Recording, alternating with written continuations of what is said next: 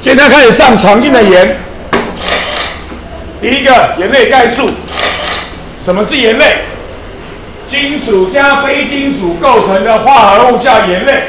金属可以改成氨根，非金属可以改成酸根，所以金属或氨根化合非金属或酸根叫做盐类。比如金属加非金属，碘化钾，碘化钾，金属加非金属。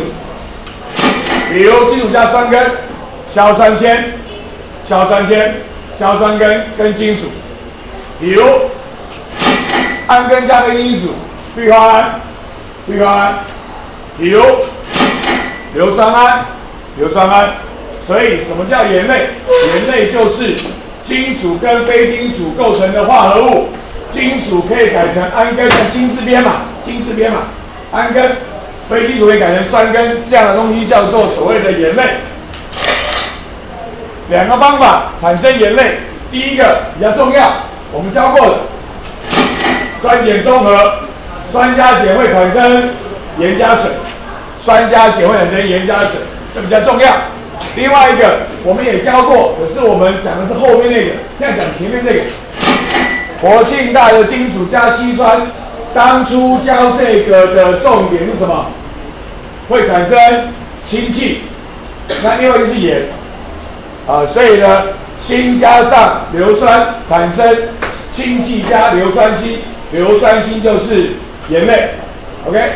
所以重我们平常讲的重点是那个氢气，活性大的金属加稀酸会产生氢气，酸的通性的重点，酸通性的重点，OK？盐类太多种了，所以基本上没有通性，大家都怎样？大家都讲没有这个东西啊。我们国中所学的盐类几乎都是白色的，我们国中所学的沉淀几乎都是白色的，所以你只要把不是白色的给我记就可以了，把不是白的记就可以了，其他都是白的。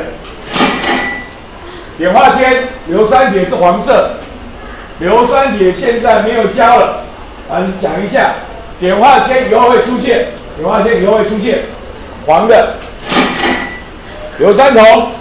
学过了，有水硫酸铜跟无水硫酸铜，啊，氯化亚钴学过了，有水氯化亚钴跟无水氯化亚钴，颜色要背，颜色要记，在前面学过了，颜色不一定，大部分是白色的，国中通常大部分白的，有几个不是白的，把不是白的记好，把不是白色的记好，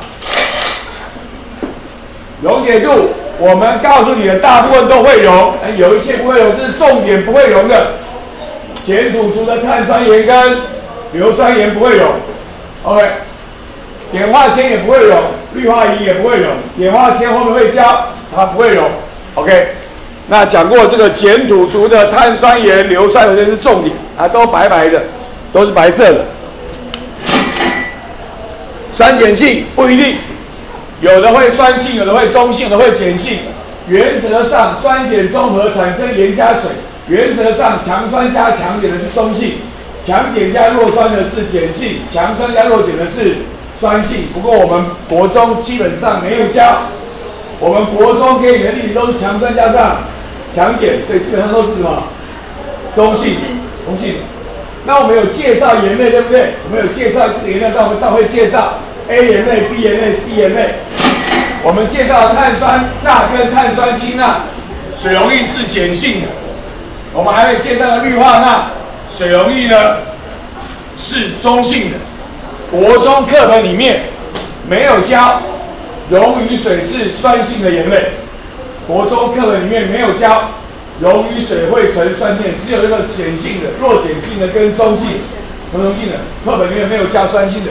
最后所谓的盐类的概述，大致上的通性啊，没有对不起，没有通性，大致上状况。啊，把一些什么谁会沉淀啊，一些颜色记好就可以了，可以吗？可以。